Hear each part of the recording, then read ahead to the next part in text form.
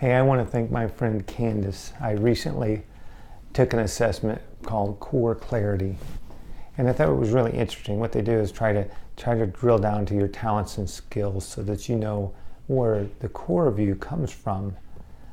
And what it does, it gives you the top five of all your cores out of 54 things, I believe it was, 54 different topics. So mine were achiever, positivity, belief, input, and focus.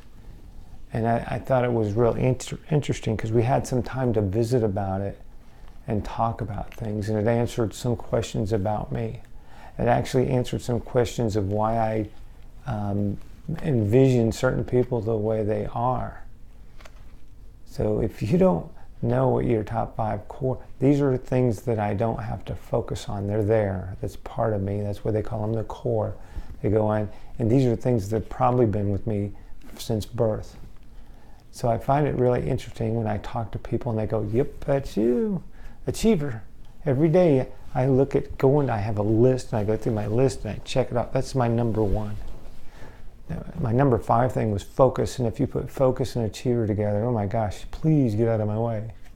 Hey, if you don't know what they are, look up core quali- uh, coreclarity.org.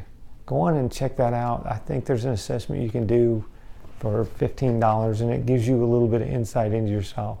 There's some great stuff. Anyway, hey, if you don't know who you are, how are you going to treat other people right? How are you going to connect?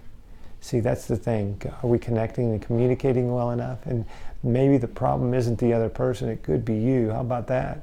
So when I look in the mirror and I think about the way that I've approached some personalities, uh, hey, it's not them, it's me. So Hey, go out, have a great day, bump into somebody you don't know, have a conversation. 10secondsdaily.com. I'll talk to you soon.